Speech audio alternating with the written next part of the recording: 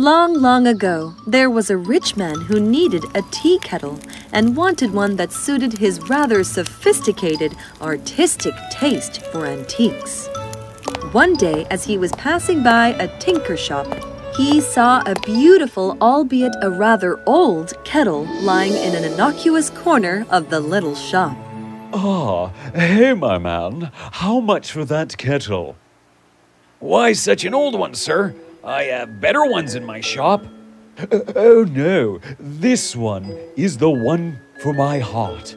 How much? I want an old one. It has to cost much lesser than the others. The shopkeeper was only glad to get rid of the old kettle. He let the rich man have it for just two rins. The rich man took the kettle back home and gave it to his servant to wash. The servant took it to the little tank in the house and started giving the kettle a thorough scrub. While he was doing so, Ow! Ouch! Go easy on me, man! Where is that sound coming from? Who is talking? lo and behold, the kettle sprouted four hairy legs with claws and a long, bushy tail. What evil is this?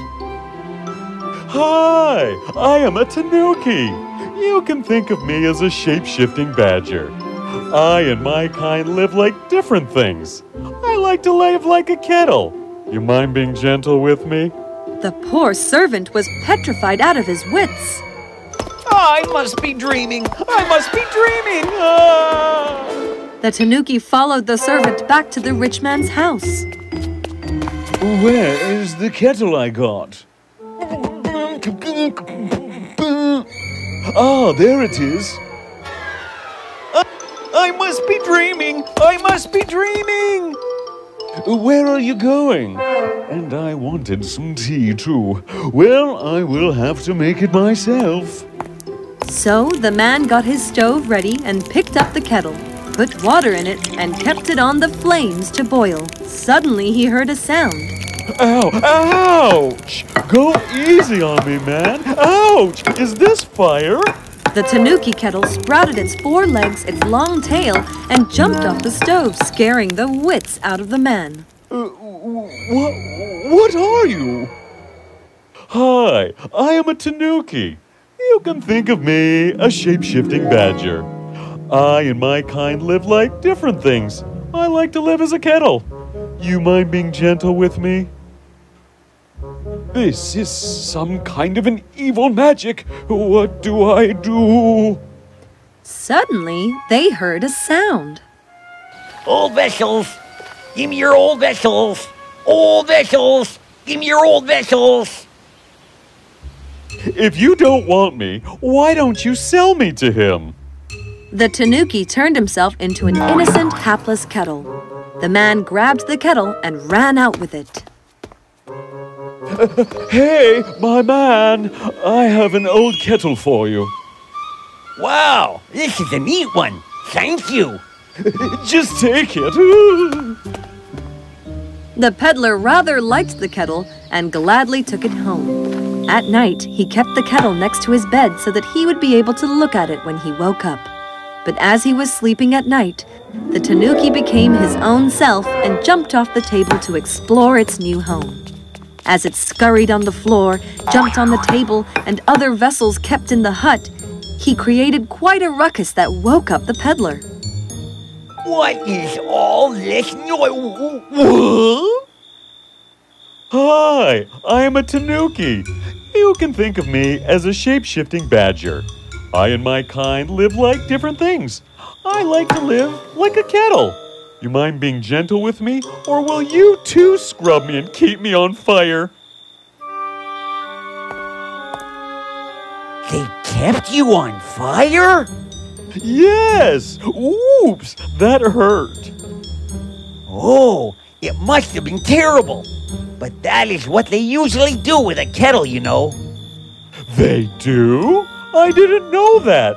Please don't do that to me. Please! No, I think I like you better like this than like a kettle. Friends? Friends.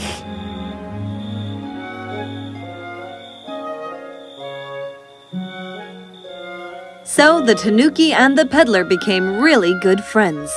They spent long hours talking, joking with each other. I wish I had more money. I would have taken you and traveled the world. I have an idea. What?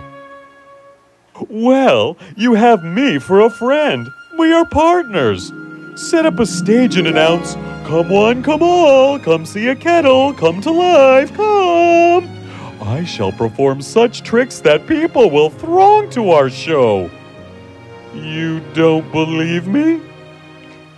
I am sitting here talking to a kettle that can turn itself into a badger and calls itself a tanuki. Of course, I believe you. Hey, partner. And so it came to be. The peddler set up a ring, called out to people, Come on, come all, come see a kettle, come to life, come. Some people came and saw the delightful tricks that the kettle played. The word soon spread, and more and more people started thronging to the shows.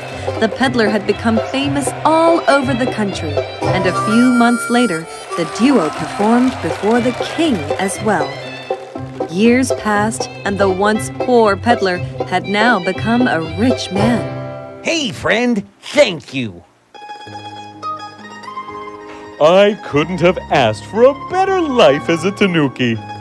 Now, we have made more than enough money. We won't have to work another day. Why don't we travel all over the world together? What say? No, friend. You can take me if you want, but I will not be able to come. I don't understand. What are you trying to say? We Tanukis are strange creatures. We can shapeshift only for a few years, and then we turn into our objects forever. No! By this time tomorrow, I will be gone. I'm going to miss you, my friend. Is there anything I can do for you? When I become a kettle forever, give me to the city temple. I would love to be there serving all the hundreds who come there each day. Once I become a kettle, the flames of the stoves will no longer torment me. That was the last time the Tanuki spoke. It became a kettle forever. True to his word, the peddler took the kettle to the temple and offered it to the head monk there. And there it stands to this day, the hapless kettle who once was a magical tanuki who made a poor peddler rich. The peddler also gave away half his wealth to serve the poor and the needy of the city, and dedicated his life to help others, just as the tanuki had once helped him. And such is life. Everything lasts for only some time. It is up to us whether we keep lamenting over what we lost, or, like the tanuki and the peddler, make our lives even more meaningful by using what we have to help and serve the world.